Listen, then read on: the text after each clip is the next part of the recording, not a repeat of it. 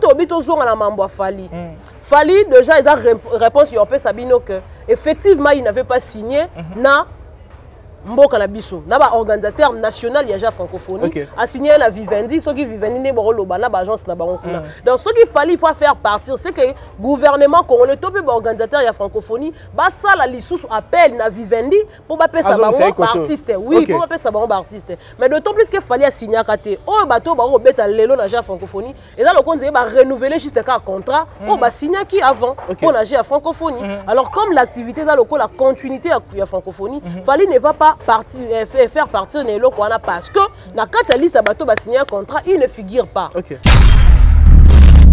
Kofi Olomide légende na musique na biso c'est pas quelque chose de nié oui oui pas continental parce que Kofi Olomide ah, nayebi te c'est vrai que eza bamboka mosusu abeta te mhm. mais bamboka tout kofi olomide akendaka azalaka accessible pourquoi okay. parce que c'est quelqu'un qui a beaucoup fait na kati ya musique na biso mhm. il joue la musique intelligente alors fali ne peut jamais se comparer à kofi olomide parce que akokoma ata na cheville ya kofi te na baexpérience oyo kofi aza nango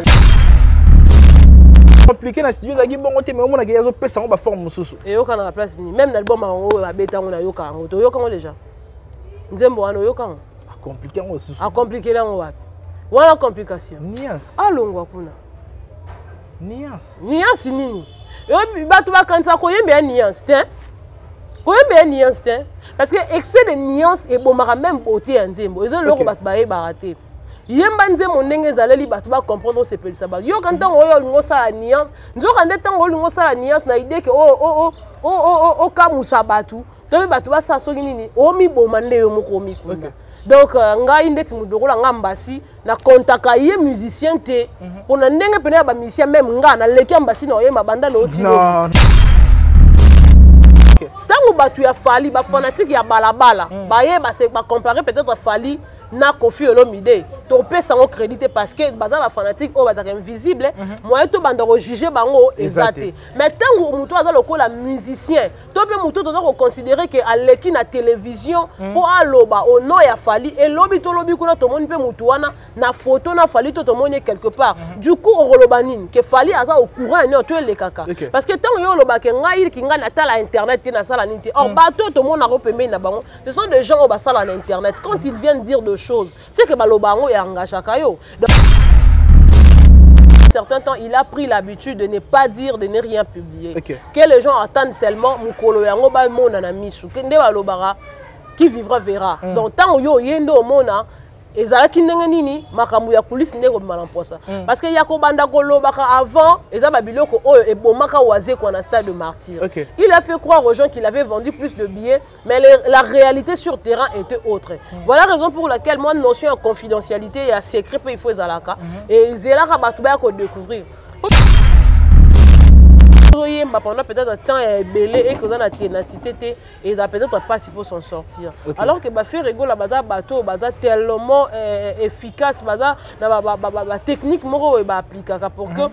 ata asali 2 3 concerts azala toujours ko maintenir toujours cap na ye wana mhm. alors comme ça sera pas la première fois ndeti nga personnellement naomona eloko te ekoki koendommage ke Ferre Gola abeti na ntongo abeta mpe suna poko donc il restera le même c'est toujours l'artiste Ferre Gola mhm. déjà c'est une activité oyo ezali officielle activité ezali organisée par le gouvernement congolais parce qu'il y aura aussi la présence du chef de l'État alors nga eloko naosepela eza juste kaka que les gens ont compris ba capacité ya Ferre Gola batu ba yebi siko valeur ya Ferre Gola parce que ba temps oyo elekaka kala on nous a fait croire qu'on avait un seul artiste eh, na mm. mboka oyo et tout le monde s'inclinait devant lui même le journaliste était monnayé juste pour que ba soutenir l'artiste moko boye au détriment ya d'autres artistes eh. mais ndeka balobaka la vérité était tu la réalité ezalaka toujours réalité et mm-hmm. les gens ont compris que nani il faut na place oyo baza nango besoin alors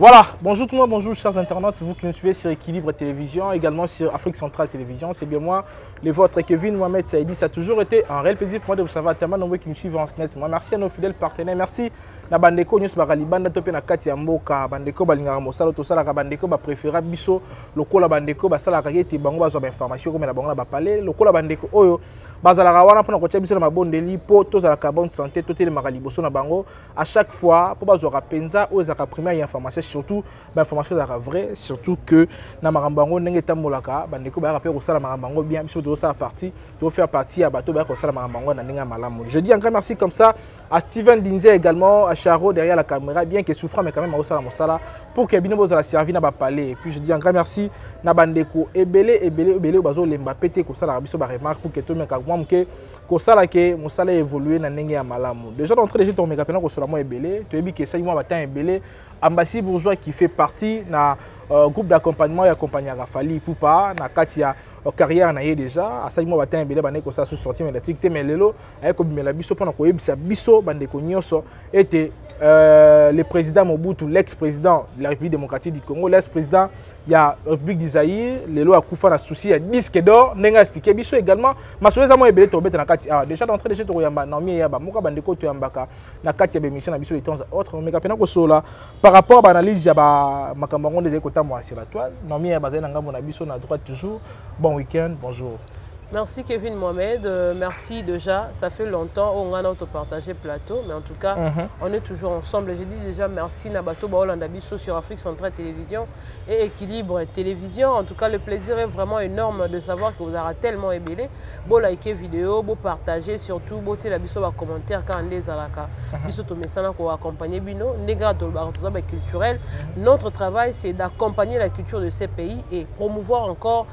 les talents ya baartiste na biso en tout cas c'est ça notre travail boni santé nano mama santé eza bien nzambe alola obatela en tout cas petit à petit toyebi ke un moko mwa changement ya climat ya mhm. moko donc esalaka mais quand même ça va voilà na mie yaba tobanda liboso na makambo etali fer egola bien ke nauti kopesa na introduction déjà makambo etali ambassy droit de mhm. réponse mais tobanda na makambo etali fer egola déjà carrière ya ferre na moi le 30 a bokozala na stade tata raphaël mhm. déjà par rapport ya moi mobange na événement eza lokola retrouver après francophonie chef de l'état abengisi bato ebele bandeko ebele e kuna deja makambo ekozala ndenge epuis même journée wana kaka ekozala mpe mokolo frère akolivre concert na kati ya showbuse bozo prépare no makambo ndenge nini na journée moko frère akomikabola mpena mbala moko bongo c'est pas une première fois parce que mhm. avant concert na ye ya pullman grand hôtel oyo ezalaki na mhm. chapiteau na ntongo yango akenda kobeta na kingakati mhm. après kingakati nde na pokwa nango ayaka kobeta na chapiteau il y a un grand hôtel c'est okay. pas une première fois ferre gola dans moto amesana nango tu vois quand tu connais la chose que tu fais tu la maîtrises tellement bien mm -hmm. donc oza na difficulté te po oyebi déjà mambo yango nde esalamaka oyebi technique nini okoki koappliquer parce que eza musique soki ozoyemba pendant peut-être temps ya ebele eke oza na ténacité te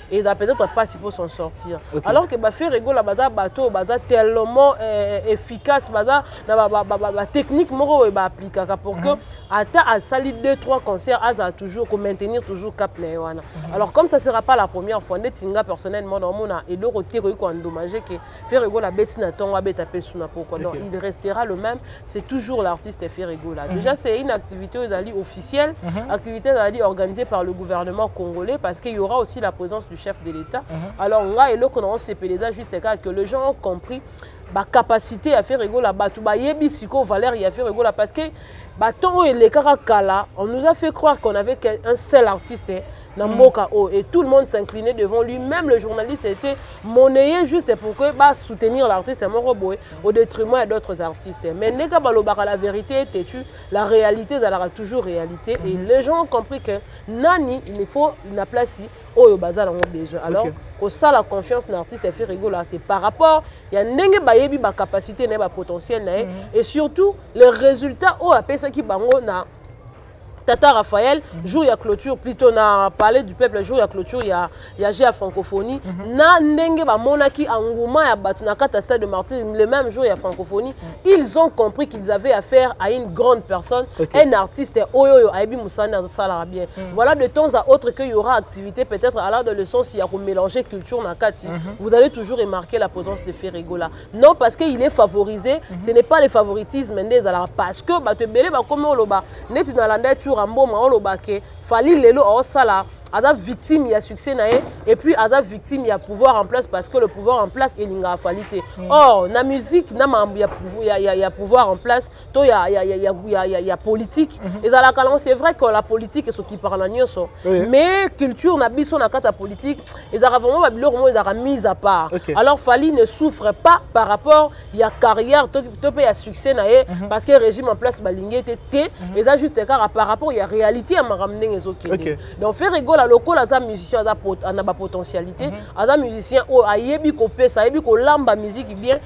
yango omoni ke de temps à autre que y aura activité moko boye oyo ezala peut-être activité ya gouvernement mm -hmm. vous allez toujours remarquer la présence de ferigola pourquoi parce que ils ont compris que mhm.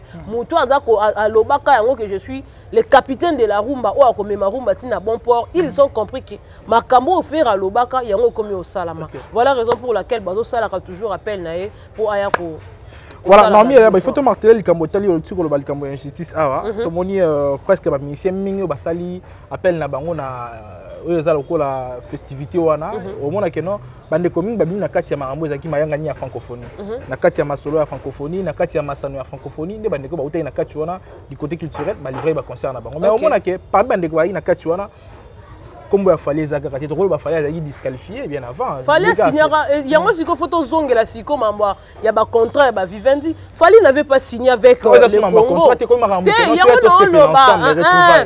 siko mm. retrouvaille wana eza na sens nini on mm. doit faire des recherches pour savoir mm. l'activité eza basée sur nini c'est vrai que cause ya retrouvaille mm-hmm. mais il faut ezala na thème moko boye to activité yango ezala basée sur quelque chose alors on doit peut-être mener des enquêtes et après baémission tokoya nango topesa badétail pour, pour ce qui est de Fally. Déjà, aussi concerne les détails, faut... na, soki na ozana moi, soki na obunga mukeke, mm -hmm. et ozala non seulement retrouver la francophonie, tokoya mpe lokola kosangana mpo na kokanisa makanisi mwa nsima par rapport bandeko bakufaki na barépression esalamaka na barégime oyo elekaki etu voilà problème eza te makambo bagénocide babilo mwa genre wana ok alors so tobi tozonga na mambo afali mm. fali déjà eza réponse yo opesa bino que effectivement il n'avait pas signé mm-hmm. na mboka na biso na ba organisateur national ya ja francophonie okay. asigne na vivendi soki vivendi nde bakoloba na baagence na bango kuna mm. donc soki fali faut faire partir c'est que gouvernement congolais to mpe baorganisateur ya francophonie basala lisusu appel na vivendi mpo bapesa bango baartiste oui mpo okay. bapesa bango baartiste mais d'autant plus que fali asignaka te oyo bato oyo bakokobeta lelo na ja francophonie eza lokola nzeye ba renouveler juste kaka contrat oyo mhm. basignaki avant mpo na jeu ya francophonie mhm. alors comme l'activité eza lokola continuité ya francophonie mhm. fali ne va pas partir, euh, faire partir na eloko wana parce que na kati ya liste ya bato basigne contrat il ne figure pas du coup il faut bango so basengi vivendi nde vivendi akopesa bango lisusu kasi te yango nazoloba te te nayebi te mambo ya bile nga napesi yo kaka juste kaka réponse par rapport ya question oyo okay. otuni alors barenouvelaka contrat mpe na motu par rapport ya rendement mm. so bamoni keke eloko oyo osalaki rendement ezalaki bien barenouvele contrat okay. mais to oyo basigne nao contrat eke bamoni rendement malonga te oza na mposa babandela te bobandela te contrat ezala résilé par rapport à ce que orépondre na batente na bango te mm -hmm. donc c'est ça au fait voilà naomi eyaba lelo oyo tolongwa na mwa kote wana kote ya showbus déjà bokomi na niveau nini boteki babiye na niveau nini sikoyo omoni na ndenge ya logique okay. de chose hein? mm. ferre gola c'est quelqu'un oyo depuis un certain temps il a pris l'habitude de ne pas dire de ne rien publier okay. que les gens attendent seulement mokolo yango bamona na misu nde balobaka qui vivra verra mm. donc ntango yo oye nde omona ezalaki ndenge nini makambo ya kulisi nde ekobima na mposa mm. parce que ya kobanda kolobaka avant eza babiloko oyo ebomaka wazekwa na stade de martyr okay. il a fait croire aux gens qu'il avait vendu plus de billets mais le, la réalité sur terrain était autre mm. voilà raison pour laquelle moi notion ya confidentialité ya secret mpe il faut ezalaka mm -hmm. et ezelaka bato baya kodécouvrir mpo bakoma kovivre mpe na système ya mwa surprise mhm. ah tobande kosatando te kozala boye ekomi boye eh, mhm. wana nde eza important évolution ya concert ya showbase il faut savoir déjà que eza koévolue bon train mhm. attendez seulement le jour j c'est plus aussi pour longtemps c'est déjà pour le samedi prochain vous allez vous-même voir le résultat sur terrain donc voilà voilà naomi yaba lelo likambo ya ba kozala fali aleki bamusicien nyonso fali azwa batrophée ebele koleka bamusicien ebele et d'ailleurs on l'a vu même na vidéo mona oti kolakisa yo avant tobanda na émission na olobi mhm. tala lolenge basala baprésentation ya baartiste nyonso baleka na nzela ya tv5 mhm. omona ke fali babimisi ye icone kufi babimisi ye légende de la musique africaine fali babimisi ye icone ya musique congolaise nayebi te sikoyo kote wana totosaka comparaison ya fali na ferre na pito na, na, na, na kofi olomide bandeko baka compare fali kofi olomide surtout moto aza père na ye mpe musical est ce que côté wana tokoloba présentation wana moto ekati loka débat yango nga kuna oloba ekati débat te parce que batu tu bayaka kotia bacommentaire sur ça eza bato ba créer ba hit parade na bango okay. ndeti nga na koloba boye na vie na nga na mona na journaliste aleki Kevin te c'est mon point de vue mm. alors mutu mususu pa ko ya pa lobi ke nga ne na boye Kevin na kuna mona ke faux journaliste c'est son point de vue mm -hmm. tozala no to présenter mission to sa émission mutu mususu ya banzo loba no ah, journaliste intelligent mais mutu mo ya fingi ozoba azali ozo comprendre mm. donc bato na bato bana hit parade na bango mm -hmm. a classer mutu selon oyo okanisa et puis ba sentiment ya ba fan ekozala basentiment oyo tokoyo jugera te kofi olomide légende na musique na biso c'est pas quelque chose ya onie oui oui parce que kofi olomide Ah, nayebi te c'est vrai que eza bamboka mosusu abeta te mhm. mais bamboka tout kofi olomide akendaka azalaka accessible pourquoi parce que c'est quelqu'un qui a beaucoup fait na kati ya musique na biso mhm. il joue la musique intelligente alors fali ne peut jamais se comparer à Kofi Olomide parce que akokoma ata na cheville ya Kofi te na ba expérience oyo Kofi aza nango. Est-ce que c'est Fally qui se compare à Kofi be ba ba Mais nalobi eh. Bayaka bongo. OK. Tango batu ya Fally ba fanatique ya balabala mm. baye ba se ba comparer peut-être Fally na Kofi Olomide topesa yango crédit te parce que baza ba fanatique oyo bazalaka invisible mm -hmm. moyen tobanda kojuge bango eza te mais ntango moto aza lokola musicien to mpe motu toza koconsidere ke aleki na televizio hmm. mpo aloba au nom ya fali elobi tolobi kuna tomoni mpe motu wana na foto na fali to tomoni ye quelque part hmm. du coup okoloba nini ke fali aza au courant ya nini to elekaka parce que ntango yo olobake ngai iliki ngai natala internet te nasala nini te or hmm. bato oyo tomonaka oyo pembeni na bango ce sont des gens oyo basala na internet quand ils viennent dire de choses seke baloba yango ya engageaka yo donc yango nalobi ke soki eza bafanatike ya balabala oyo tobengi bawarrior nde baloba yango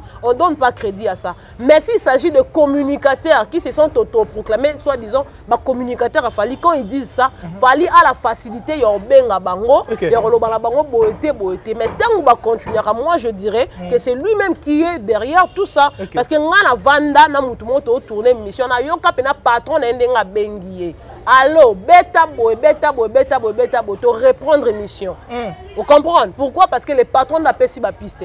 Bon, le balanga te que ba patron ba battre, ils savent. Mhm. Ils savent. Voilà, maintenant mieux ba tant ozolo ba boy, ozolo ba que non Fali aza ko courant ya marambo c'est pas ça quand même. Mhm. Le temps ambassy, oh aza ko plus proche ya Fali que ba ndeko ba ko ba communicateur ya wana, ayi ko ba na télévision lobi.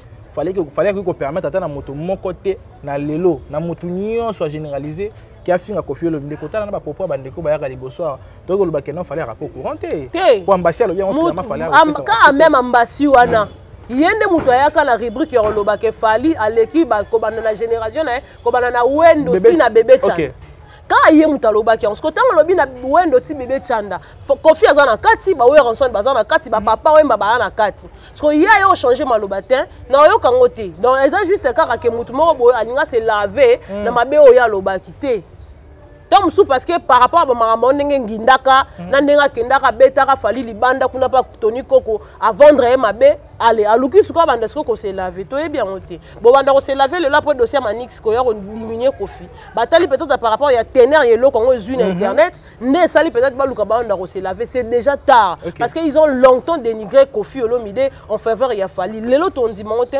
po yo yo changer atomoni ndoki mm -hmm. ata bongoli motema bendisa kindoki ezalaka okay. awa bando ozalaka moto bando obanga ye mm. eloko ebembani yo kaka esila somo te donc eloko bambasi wana ana discours ochange te pendant que toyebi ke kaka la même personne wana alobaka ke ko, nani fali aleki kobanda na bebe chanda na wendo kino na babebe chanda alors lelo ayo change langage ndeti nga nakopesa yango crédit te nakolinga yango te mama oza consciente ke lelo fali aza faiseur de hit na nini asala hit nini aza na bamede eza wana ah, aza na bachanse ebele ebele tika ti lobetaka ebetaka tout moment kobeta eza de hit lelo eza problème te mais bachanson oyo ebiraka hmm. pendant combien de temps l'essentiel eza kaka te ke obeta nzembo bato bayoka ou hmm. te beta yango etikala nga kuna preferar banzembo ba fere na bakofi olomide ekozwa succès lelo te mais lobi kuna ntango ebanda obeta bato baotuna nzembo ezalaka ya album nini ezalaka nde boye c'est ça banzembo ifo obeta etikala mm. donc il faut kozala na bachef d'oeuvre ena obeta babiloko ya périodique fale obetela biso c'est vrai ka aoteka miziki ya mboka na biso oh, ndenge bango mo babengaka international na bango mm-hmm. aoteka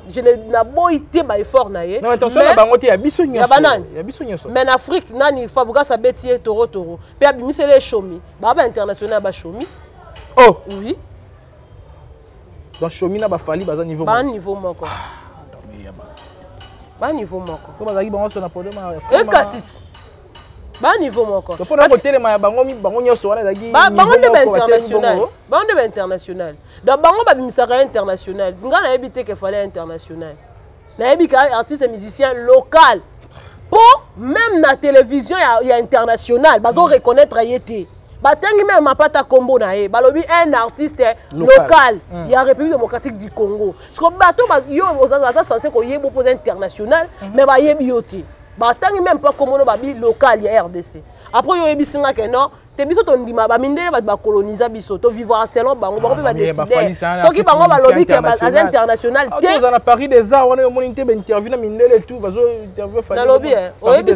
sonia rolex sonia rolex eh, azali mondele ti mhm. abanda kosala nini a abandaki kointerview na bato mwindu basonia rolex ce qui veut dire que journaliste ya mosala na ye okipe toza mondele toza nani te si fo asala mosala na ye oya osala elakisi te ke yo oza international so mpe ndenge nini non à cause ya international to mosusu musique ne traversa mpe bapays mosusu etout mhm. etout mais ndenge baluka kopesa yango en plaire ezi yango te mm. kevin ozo comprendre yango te oh.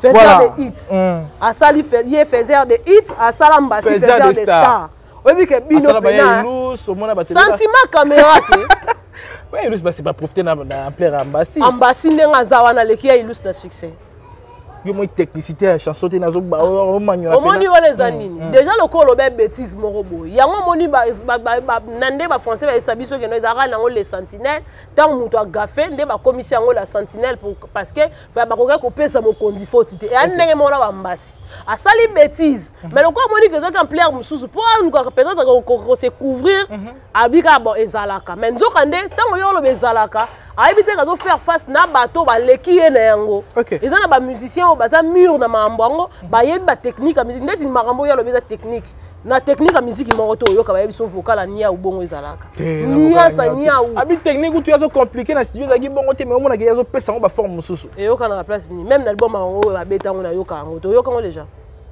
nzembo wana oyoka yango akomplike yango lisusu akomplikeli yango wapi wana complication nuance alongwa kuna nuance nuance nini oyebi bato bakanisa koyemba ya nuance te koyemba ya nuance te parce que excès de nuance ebomaka meme beauté ya nzembo eza eloko bato bayebaka te yemba nzembo ndenge ezaleli bato bacomprendre osepelisa bato yoka ntango oyo olingi osala nuance nzoka nde ntango olingi osala nuance na ideke oyo oh, oh, oh, okamusa bato toyebi bato basala soki nini omiboma nde yo moko omikunda okay. donc euh, ngai ndeti moto lokola ngai mbasi nakontaka ye musicien te mhm. mpo na ndenge mpena ya bamisien meme ngai naleki ya mbasi na oyemba banda na otinayebi biso verité yo leki ya mbasi batiela biso battle na mbasi o oh. ambasi ayemba na ngai te ambasi ayemba na ngai te oyemba déjà nayemba makasi nayemba makasi sauf kaka ke moto ando ayembisa biso akufa donc na biso so bayembi biso so boyemba ofo yazala te o po akufa na sens ke tomema miziki na biso yango mosika te mpo moto yango akufaka na ye ah, okay. eh, donc c'est ça voilà naomi eyaba naomi eyaba lelo oyo ntango ambassade oyo aloba yango tu o azoloba ke lelo papa mobutu mpe ya sonam moko ya ba ex président ya mboka na biso akufa na souci ya disque d'or e soki place azali soki aza na esengo eza mpo fali lelo azwi disque d'or apesi mboka lokumu ah liboma C'était un artiste de liboma d'un fou. Même oui. Makambo oloba pene te bata maboma. Mobutu akufa na souci ya ya ya disque d'or na na nini? Mobutu tango o vivre. Na mama ba musique ezalaka ba falite. bamobutu bavivre na bawendo bavivre na batabulei tabulei oyo oke kovandre mboka na kata sale moko bakobeta concert mindele na mindele falida abeta concert nini mondele azala otika kokosa biso ko na moto lokola mbasi soki aleki na tv ayaka na babiloko oyo aye avec l'idée tom bon au fait c'est un besiste eh? ayebi keno aleki mpo akosala base na ye bato bakoyoka ye po abayebi kaza baiser alobi yango clairement ndenge ya réalité pe ya logique fallait aza aza pe chancer parce que aza na musicien lokola mbasi oyo na bokesa musu baza na été kasi aza na faux chanteur lokola mbasi po ye moko pas faux chanteur na lobi hein qualité te na lobi boye ozo douter na ba qualité ya mbasi te ata yo moko pe nozana so olongoli ki journaliste otia part oyebi ka mbasi c'est un faux chanteur non non non Ah, faut chanter. Et Ambassy ne fait même pas le poids devant Yailous. Nga na yoka na nga vocal Ambassy te. Nga na na yoka na nga te. Des fois na yoka banzemba fali mais vocal Ambassy na yebi yango. Mo vocal yolo bila aya nyao. Eh, Kasi po abeta yango na émission yango na esala ke to yeba yango. Mais na kati nzembo to yoka yango te. Siko na obeta lisolo Ambassy ndenge.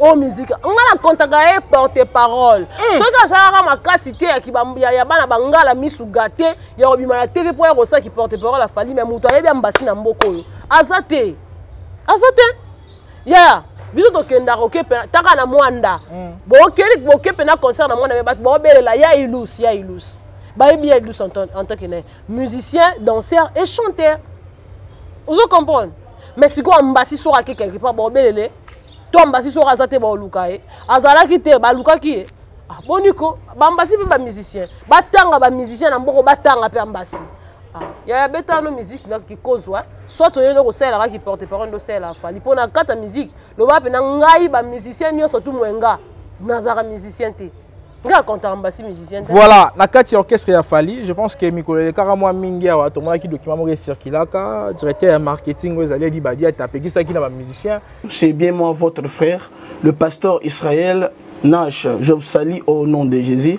Je suis précisément à Kinshasa, naza responsable ya ofelina jésus est mon papa naye liboso na bino mpo na kopresente bino bana oyo bozomona na bilili mpe badifficulté toza nango nabandaki mosala oyo oh, ça fait longtemps ya kobokola bana selon ainsi du l'éternel mais badifficulté eza mingi difficulté ya loyer parce que tozofutela et puis difficulté ya ofutela bana minerval mpo tozwi tobandaki topesaki avance mais etikali ndambo nazobanga ke bana oyo bakata classe bakoma nango na suka te c'est pour cela dieu m'a mis au cœur na lance message oyo na bato nyonso ya motema malamu basunga bana oyo bozomona na bilili bana oyo bozomona na bilili ndambo nazwi na rond point ngaba ndambo victoire ndambo limete epuis ndambo leta apesi ngai mpona bandeko na ngai nyonso bacongolais boyebi barealité nini topase na yango na mboka soki ngai simple individu nandimi kozwa bana oyo nabokola na ainsi dit l'éternel soki leta se décide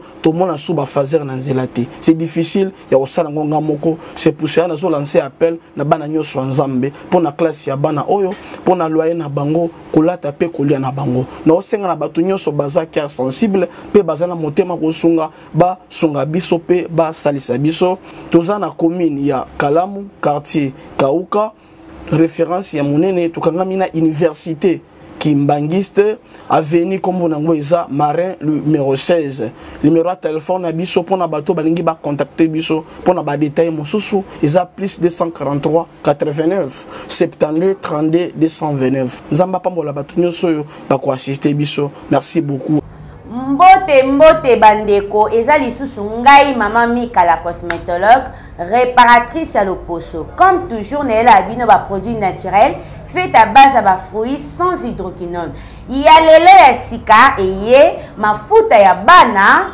lait de beauté mika bebe en tout cas ezali de 0 à 12 ans esala bana na bino kitoko makasi je vous assure bosepela nango ezobongisa po ya bana ezorendre yango lise propre très agréable ezala bana mwana bimaka bambuma na nzoto ba, ba, ba mapalata bamakodia banini en tout cas ezosoigne mpo ya bana kitoko makasi mama mika amemeli bino lisusu bandeko pomade na biso vimbovi pomade oyo ezali pomade raffermissante mpo na mabele basin epuis bassin na bamole en tout cas ezovimbisa makasi bandeko bosala bacommande bopase bacommande na bino bokosepela na yango makasi nzoto yaya papa mama tobongisa yango kaka tozali na pomade na biso ya suki e bato oyo suki ekatanaka pambapamba bato oyo suki ezalaka pepele bato bazala na mabandi solution yango eye baproduit très naturel toza na pomade ya suki toza na huile ya suki huile oyo ezosunga bato bazala na basalite na bacuire chevelire na bango bapoussière baloto oyokaka mokusa yo so bayoka yango soki okomaka mal à l'aise solution yango eye huile na biso huile cheveux mika ekosunga biso makasi toza na pomade oyo ezovimbisa suki suki ekoma noir ekoma kitoko bandeko boya ebele tozali na crème na biso te metisi mpo na basi ya pembe mibali ya pembe bandeko na nga ekosala yo bien yo motu pembe na yo egata yaka mbangu passe commande na yo ekokomela yo tobosani te basi ya mwindu basi ya shokola mibali ya mwindu ya shokola crème de beauté mika yango oyo ezali mpo na bino bopase bacommande esala bino bien makasi toza na beurre de karité na biso pure bio yango eye bandeko esilaki bopase bacommande eye toza na crème réparatrice mika mpo na bato ya problème ya tampon cancer de peau barougeâtre banoir nduta solution yango eye boya ebele toza na pomade antisola mapeka na deux jours apamba sola mapeka esili boya ebele toza na gommage café mpo na kogoma elongi oza na pomade mabouton graisse bokima lombango gommage yango ye toza na savon noir fait à base ya café okozala très à l'aise na douche na yo boya ebele huile d'anana huile d'anana yango naturel en tout cas bokima mbango totika kotya tshoko e totika kotya tshoko bamama bapapa naloba yango heure nyonso tu toa na biso na possibilité nyonso ya koretrouve te na biso normal oui. ezala ebebaki ekomaki ndenge nini nayebisaka mm. bino solution yango oyo solution yango oyo totika kotyaka tshoko bamafuta ezobebisa bato totika hydroquinone Numero plus 243 89 98 27 674. Notre adresse, commune à Kalamu, quartier Matonge, avenue Pozo numéro A17, référence cabine à courant. Ba cadre na kati ya euh, groupe d'accompagnement na bango, moto asala su émission te mais tomoni mikolo bango se bafunguna mpo na kosala ba émission est ce que bakomi bakomi ko comprendre que non eloko moko neti ezokende euh, bacomprendre shit na bango ke eh, shit libre eh, ndenge eza bongo baokende na kosila alors il faut toluka peut-être to renforcer mpo musique loko tosimba te mwa maloba mpe kija lelo peut-être mpe kosimba ambasi lokola yo bayebi yo kozalaka moto ya porte parole kende nanu mpo yo ntango oyaka na bamanquement barespect wana esalaka bato batya oka mpo toyebi ke lelo na communauté na biso bato balingaka mingi babétise ntango moto aofinga motu ya ye atieli commentaire félicitation mais ntango baye balobi makambo ya malonga oyo eza constructive bango bamona yango eza makambo mabe mm. yango wana tellement baremarke ke chute ezali mhm. alors ambasi bima kende na omanke manke na bato respect kuna totala ndenge kopesa donc voilà mais ntango ozomona mpe ambassade oyo afirma toute fois totelema mingi na ye te parce que tola makambo ebele osolola mais ntango azoloba lelo que euh, déjà l'affaire oyo ezali ya gautier ci face à fali euh, kotala ndenge makambo ezokende na bi bandeko baavocat meme gautier sei eza lokola rêve na bango d'enfance ti bazosenga présence ya fali bana bezo bakanga nde na fali photo ah. baavocat ya gautier sei baozana gautier sei fali aleki maître gi mafutaka bongo hmm? mpo gautier sei so akangi photo na fali nde ememi ye wapi to maître gi mafuta so akangi photo na fali rêve d'enfance ya baavocat wana te me bambasi bana bango bato bamayele te c'est tout à fait normal mpo aloba bongo mpo na ndenge logique de chose motu araisonnaka akoloba mambo ambasi alobi te akoloba mambo ambasi alobi te fali ye moko kuta okenda kofofile bisika ata babenge te mpo aluka kanga bafoto na baartiste étranger maître ki mafuta aka bongo soki akangi foto na fali nde ekopese nini fali aza na nini ya koaporte na vie ya maître ki mafuta afutaka bango mpo bayembela ye yo ofuta maître ki mafuta te nalobi bapesa basomba bapesaka mbongo mhm. yoka ntika pamba boya bandi obwaka kingani te libanga yaka mbongo ye maître guy baavoka wana omona bafutaka bango mpo bayemba bayemba bango me bango bafuta bango mokolo nini yo olobake moto aza na besoin ya kokanga foto bakanga foto eza rêve d'enfance na bango mm. fali akua apporter dans la vie to mpe na carrière ya maître guy C'est n'importe quoi. Tout le cola, tout le monde a si jambes à Voilà, tout le monde a fait rigolo ah, déjà lelo. Tout le monde Ken Piana, Makizembe. Euh, vous allez payer ba chroniqueur, vous allez payer Nsango. Donc euh, lelo azali ki susu na ndeko na biso Vasco Mabiala. O oh, lelo Vasco, tout le monde a déjà na ndeko ba ba côté ya chat set groupe faire rigolo. So ba ligna ba émission na bango mingi, même ba communicateur ba ba que non. Nanga mo mususu wana nde makambo ya que non moninga pesa sima moninga pas sala et sala ma côté wana mais tant moni vasco mabe aloyaki koloba ke ferregola na euh, mark house bazalaka en amoureux basalaka bolingo babimaka na ndenge ya nsima ayela biso bavideo mpe ayela biso baprecision omoni baaccusation yango wana sikoso ezalaki peut-être fali mais bake porte plainte ntango baotenir bapropos mosusu c'est tout à fait normal hein? mutu na mutu aoluka succès na ye mm. parce que les gens ont compris que Ferre Gola n'est pas du genre quand tu dis des bêtises sur lui aluka mema musika donc ils vont dire des bêtises et parce que Ferre Gola c'est un artiste ayebi déjà que non nde naza na vie artistique tous les coups sont permis les gens mm. peuvent dire de tout de moi mm. alors lokola nayebi que eza yango te je dois me concentrer na makambo na ngai mm. ozo comprendre napesa oka exemple oyo eza mokie fali aa na concert na baconcert soki bamibale ti mhm. mais wabeta liso nango te eloko eza cosemplaire eza affaire gautier sei na ye na kata ya justice alors que eza moment otom si fara asala campagne na ye eza moment efara asala promotion mais oyo se rendre compte qu'à la fin ils ont vendu peu de billets recette ekoti moke pourquoi parce que le moment oyo ezalaki propice mpona osala promotion mpona osala campagne et ils étaient focalisés sur de bêtises mm. sur des affaires qui n'avaient ni tête ni queue alors ndenge vasco mabiala ndenge aza wana ntango mosusu ye andako kanisa ke lokola edingo aganyaka aganya vi na caleson ya noir ye mpe akoganye vi na caleson ya ble lokola batiaka ye na clip mm. donc lokola epesamela ye te chance mm. wana yango ekomisa ye bilobaloba il a travaille pembe na ferre depuis combien de temps mpo na nini bato bazalaka bazalaka na difficulté ya koreconnaitre balamu ya moto mm-hmm. ye vasco so azala pembe na ferre te yo olinga oyeba ye tongo oyeba vasco te ferre gola asali ye vasco apesi ye sens a vie mm. abalu ayibi ferre mbongo ayiba ya bambongo ya babashe vasco moyibi wana ozomona lelo soki aye alobi makambo mpo na fere ndeti ngai nawapi yango crédit mpo nayebi na ngai ke motu soki alongwe pembeni ya motu oyo na par jalousie lokola ayebi kaka ke eh, adversaire na ye tolobaka ezalaka kingani mm. nakende kosatache kuna mpo ntango mosusu baolinga mai na ndenge logique de chose donc parla voulait dire que non tia osala bainterview na basorti mela tina baken pia na banini eza ozoluka moyen ya kobenda na kote wana mais sikoyo na ndenge logique de chose mm. sauf fale amuta mayele obenda ye te mpo oyo afingi fere lelo lobi mpe akofinga ye ozo comprendre nga na comprenaka te na comprenaka te vraiment en tout cas moto lokola vasco mabiala aréclamaka nini epa ferre est ce que ferre aza redevable na vasco ferre a redevable na vasco te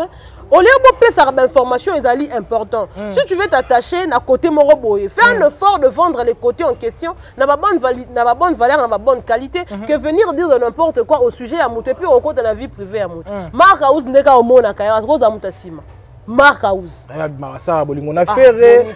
Ba Sara bolingo na Ferre. Boniko. Ferre akenda kana na sima. Oyo ba Ferre point na yemba papier de fondende. T'as la toute vérité n'est pas bonne à dire aux internet.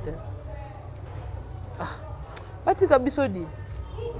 mulora vasco mabia la so aye oyo ozozela aloba nini mpo na fere aloba bolamu te ntango abeti makambo ya rebo awa akanisaka ndire ke kopesa soki ampleur nini soki ndenge nini epesa mplerte aye obandela so aye obakisa so eloko mosusu papa multiplier yaka ya suna mosusu ya sika mm. yaka kaka mpena ya suna mosusu yaka ya suna mosusu mpo olemba yo moko olemba loso ti olemba mpe obungi kaka yo moko moto na moto comprena déjà système yango que moto aopesa bato succès eza ferre faiseur de star c'est ferre mm. soki basacrifice so mpe ye mpe asacrifice esaka ezali zoba asomi na pesi zoba sengo sacrifice opesi kaka zoba sikoyo ebu zoba ntango nza orchestre ba sacrifice otikala ye wana pendant longtemps nde yeni seke papesaki ebongo siko sela ye papesaki mpo azalaki kizengi orchestre basaki keve ngai nayebika bisika oyo naokendeka bisika mabe kuna bapesaka bato kuna babomaka bato mai natikali te seke ngai mpe nayaki zengi seke ngai moko nde moto ya basacrifice alors vasco mabiala c'est un papa moko boye très imbécile très kizengi très bourrique qui vient insulter son, son ex-chef. Hmm. Parce que na âge à Vasco Mabiala faire à mukolo na été à leki na Mais Vasco Mabiala aya osala ki mwana musala pas faire. Ce que lelo so Vasco Mabiala aya. Ya musala musala qui pas acheté. Moi musala yo mona da DG ba obinise na kaleso. DG pena figurant na kata clip na kaleso. akanisa kaka gagner vie lokola edingo na caleçon ya noir voilà naomi eyaba déjà tolobela nano likambo ya ba cd oyo akeni piano bavideo baactualise lelo oyo euh, toza koyongela mpe gotie se topesaka gotie se baraison mosusu lelo baimage ya bacd nayebi te bacd wana kaseti wana kena azwaka yango wapi basanga na maison nini babeza biloko ya diego miziki eh. sikoyo ngai natuni okay. cd wana ezalaki ezalaki ezalaki crédible uh-huh. sikoyo mpo na nini balongole mission wana na internet émission eke mpiana na elongwaka mpo ya nini hmm. moto aye mpaya na stock ya bacd alobi ewuti hmm. snap donc snap aye atindi yango apesi mpo ya ken mpiana ken mpiana distribue te pour dire que batrophée na badisque oyo boyelaka biso lisolo eka mambo ya lokuta ya kevin eza nango kaka association ya bato mo basangani mhm. balambi dongodongo na bango nde eloba nango neneya mpo mhm. bagutise bato bakosa so tokende na likambo ya frima moto azwi atolali ka tolamuki be pu moto mbama wana badiske mibale abimi nango nzee moto awuti obeta tora sikoyo atelemi mpo bakanga akanga foto de trophée ebandaki ndenge nini nomination yango ezalaki ndenge nini annonce esalamaki te mais siko nene azalaki la personne habiliteasololaka na bato ya afrikenakoyeba ndenge nini hmm. nakoyeba ndenge nini siko sur base de quel critère oyo bapeselaka bango batrophée yango parce que tout ça là doit être annoncé bien avant tomoni yango te toyoki olo te mama kola ya kolamuka frime ye yango moni fabrice lokola daa banda koboykote yango banda kala mhm. atikali mpe kosepela te ke présence na ye ekende mpo akende ozwa yango yokanisi ozalaki eloko ezalaki mpena sérieux crédible fabrice na ne pas faire le déplacement d'ici jusqu'à là-bas mhm. alingaka akende parce que ayebi ke non eza honneur mpo na nga mais soki fabrice omoni aboykote pourquoi parce que jusqu'à là il nie toujours mm. la crédibilité to mpe fiabilité ya afrima mm. association moko club des amis moko boye basangana na bango mhm. baluka peut-être basepelisa baoyo ya bango mhm. soki oyebisaka so totali na logique de chose tible okoa ya bizorbi wana ekozwa frima te ekozwa trophée te mpo na oyebisa yo eza babiloko ya bato basanganaka mhm. ntango mosusu motu moko abia ngai nalingaka keve mingi natie mbongo na ngai ya bopesa mpe keve batika opesi motu de trophée lelo lobi bobarsele moko ezalaki nini lipa deuxième session lipa deuxième session ah, ah. ndenge résultat tame ete ebimaki liboso ale bato basepeli misusu bakatani ale chef de l'état bi te tokomi na suka kenkena na ngai fo bano mpe bazala délibéré badélibéré bango batika biso mambo ya lokuta di miziki ya trofe te hmm. lelo toko tobeta lisola bapapa oyo ma tobeta lisola bamadilu toyebi misika batrofe na bango ekenda te ma tobetaka lisola miziki na bango hmm. soki ezali mpona batrophée toyebi bisika batrophée yango ekenda te donc soki miziki ezali mpona batrophée ndenge bango bakufa bakenda seke histoire na bango mpe fesa nini esila parce que bisika moto akenda kodepose nini trophée na ye na mise moko boye mm. tomona te mais ntango bato bokoya olie bovendre fali par rapport ya bapotentiel musical na ye boye ovendre par rapport ya batrophée tokokende nango wapi non déjà ba récompense pe tokoki kolobela yango parce que lelo sobo tala na fali récompense on en on en discute déjà après plus de 70 trophées asala nango nini 70 trophées trophée yango asalaka nango nini a défendaka yango ndenge nini c'est ça le problème c'est ça le problème yo quand tu vas tout tour bazwa na bi même na kata ba diplôme hmm. toi na ba détenteur ya ba diplôme ya ba diplôme d'état toza pe na ba diplômé dans le vrai sens du mot okay. ozo comprendre donc moto oyo ayebi ke naza pena diplômé napesa oka exemple eza typique mm. nous on a fait lifasique na mm-hmm. bato ebele mais bato to exercaka métier oyo toya mokie misusu bakoma osala na bango na banoda misusu bakenda na bango osala na limete mm-hmm. mosusu akoti ne salon de coiffure non parce que bamosala eza te mpo ngai na oyebi soso eza mosala ya kozwa facile ata baofuta te baokolisa performance ya mosala ya journalisme mais ebele basala yango te bakende na bango osala basonge de coiffure mhm. akoma na ye maquillage akoma kosala boye pourquoi parce que ah, makambo oyo akenda kotangelela te akendaki kochauffe babana bayeba kaka akenda ape facile se mhm. ndenge moko mhm. na musique na batrophée boya kopesa lelo avoir un trophée ozwa yango eza problème te mais défendre yango nde yango ozomona fere gola azalaka cho te na mambo batrophée mpo ayebi ke nga fere tout ce que je dois obtenir ya batrophée nini je dois le mériter lelo bobeta lisolo ya ba snap et tout et tout ba disque d'or est ce que yebi ke ferre gola zo ba disque même na ba snap wana mais en collaboration alobela yango te poani po eza ya ye moko te eza ba disque ya collaboration Donc, comme on Yo dit, kobeta- bah, disque parti- participatif. et tout. voilà Ok. yo kobeta lisolo ya ya ya nini ya disque moko boye bozwa en collaboration te wana eza eza performance na yo te voilà raison pour laquelle ferre egoya na mayele na ye aboyaka dynastie deuxième volume ebima 20 dinasi oyo ye moko abimisaka pourkui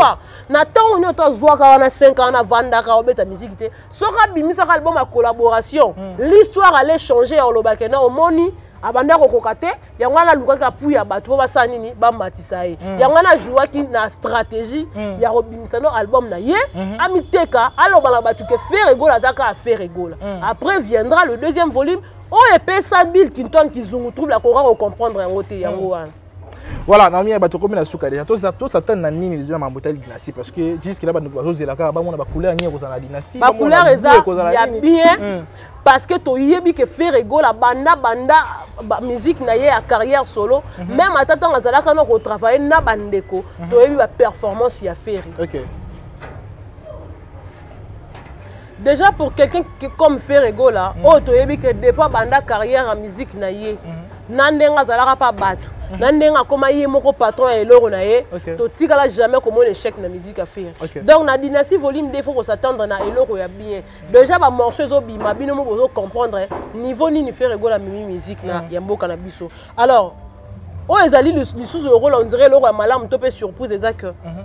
Ferre Gola abeti album na collaboration okay. na ba frères na ye musiciens congolais. Mm -hmm. Alors c'est quelque chose oyo bato ebele bakotuna mpo na nini akende kosala featuring na baétranger te complexe mm. bacomplexe oyo bino bozali donc bacomplexe oyo bino bozali bolingaki Ferre Gola akende kobeta na baétranger mpo na nini mm. déjà tobeta bamiziki wana baétranger bafeaturing ebeta emema biso wapi alors il faut kovaloriser culture ya mboka na yo teya sango malamu me banda na jérusalem mm. jérusalem eza mboka na yo soki otie na mboka no propre te kokende te otia mboka ya bato mosusu propre okay. alors ferre gola azalaki na volonté to mpe azalaki na vision ya koyeba ke miziki ya mboka na biso kokende liboso kaka na biso moko mm. voilà raison pour laquelle abengaki baninga na ye baya mpo na kotombola so nkita ya mboka ce qui veut dire que les gens doivent attendre quelque chose ya bien na dynastie volume 2 en tout cas toloba mingi te parce que c'est déjà pour bientôt vous allez vous-même découvrir poko loba loba mingi mbanga passe okay. voilà Ma merci merci beaucoup na bato tout balandi ngai dynastie volume 2 déjà na nzela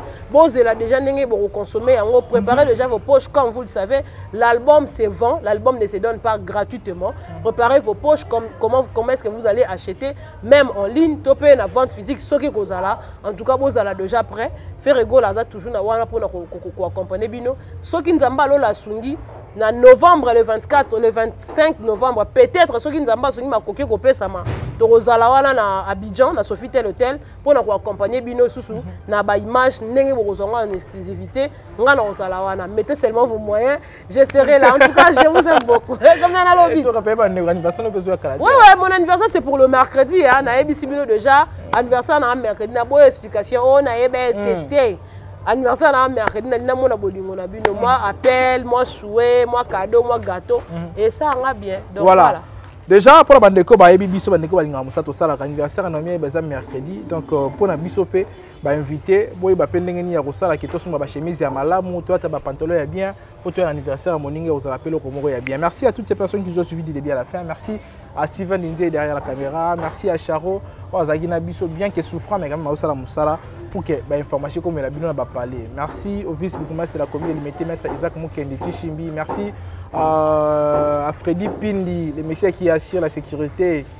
entre parenthèse ya first lady bambote ebele na bisika ozwami mbote na bandeko nyonso balingaka mosala tosalaka christian lukulasi 4 fois père na kati ya paris merci comme ça a papi nzieza na kati ya paris irène mwanza na kati ya paris merci na tonton pi na manchester bambote ebele na yo bisika ozwami merci a papa modogo capras na kati ya allemagne merci